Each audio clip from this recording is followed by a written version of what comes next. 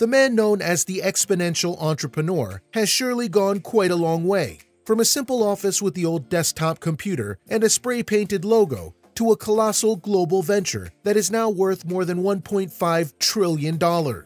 Business magnate Jeff Bezos, who is known for being the founder, CEO, and president of the multinational technology company Amazon, has reshaped the consumer experience, offering hundreds of millions of products and the ability and willingness to compete aggressively on price, which has led to the huge scale of operations that is known more as the modern Amazon era.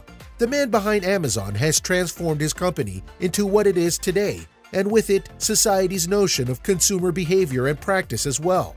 But this isn't just what Bezos intends to reshape, as he intends to further his innovations and influence. It's the transformation of the planet and its population for the future as well. In this video, we're taking a look at Jeff Bezos' vision for future cities. The Amazon we know today is far beyond the online purchase place of ebooks, music, and videos when it started selling in 1994. It has since become the world's largest online marketplace and is by far the world's largest internet company when it comes to revenue.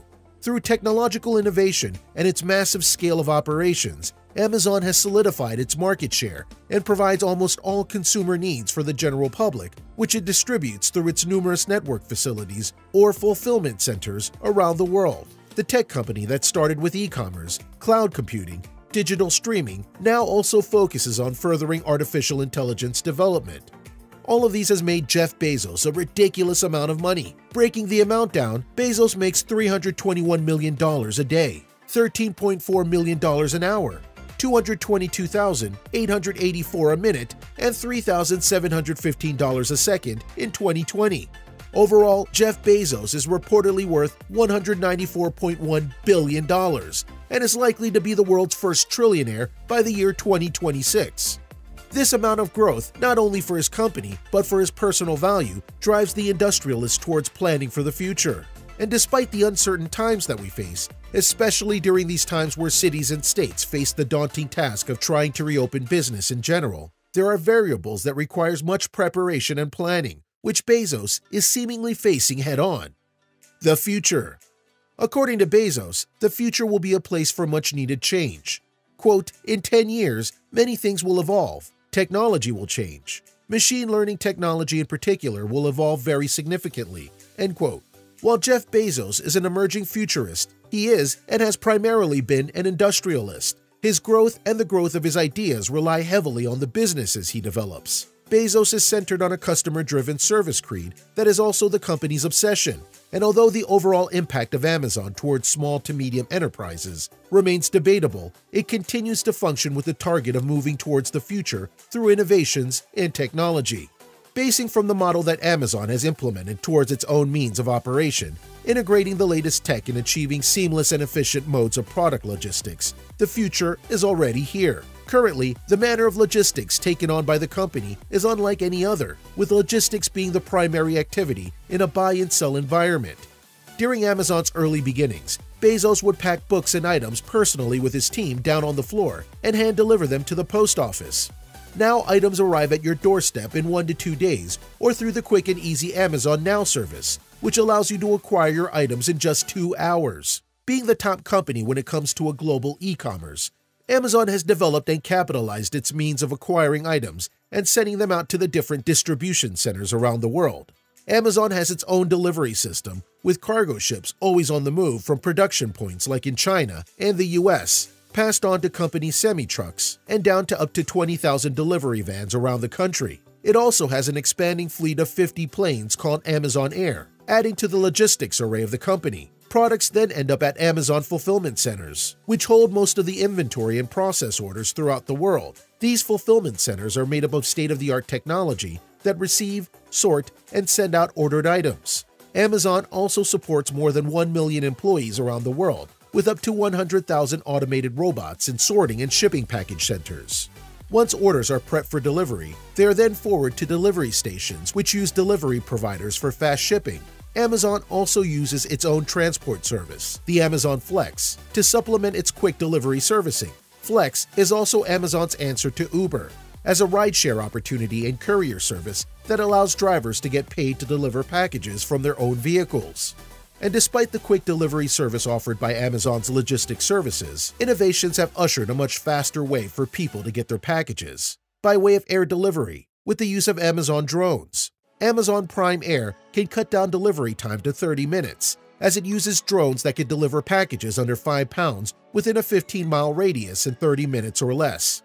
Although this particular drone delivery service is still certainly in development and is dependent on regulations of different locations, in December of 2016, Amazon successfully delivered a Prime Air parcel to Cambridge, England, where a Prime Air fulfillment center is located. And with most fulfillment centers being located outside of cities, Amazon intends to create the Flying Warehouse, a blimp that can fly closer to delivery areas, allowing drones to float down with packages, saving time and energy. Another concept in line with cities of the future that Amazon intends to achieve is the use of city streetlights that can double as docking station for Amazon drones. Drones can recharge their batteries and deliver packages through a trapdoor located on street level. One other popular concept from Amazon is the Beehive, which are converted fulfillment centers located in the downtown areas. These tall structures will have open sides where drones can fly in to pick up the packages to be delivered and immediately fly out to deliver them. It's not that far along to see this concept, where a tall Amazon beehive building can be seen in downtown areas all over the world, where packages are sorted inside using automated robots, while drones can come in for pickup and deliveries, and retail stores are located on the street level, allowing people to experience premium and instant retail purchases or do groceries at the downtown Amazon Fresh. Amazon has patented the beehive-like structure concept that would serve to directly deliver to houses and residential units within the city. Another Prime Air drone delivery service that is also in development is the use of fully autonomous vehicles, eliminating the primary cost of delivery, being that of human drivers. Integrated tech in retail. One thing that Amazon has broken the mold of is the way we buy certain products, whether it's online or in the real world. From suggestive items on your homepage, from consumer feedback that can guide you on your purchases, Amazon has added very useful tech features in providing consumers an easier customer experience way beyond the usual window shopping practice. This innovation has led to most marketplaces online to use the same format, and it's become the industry standard.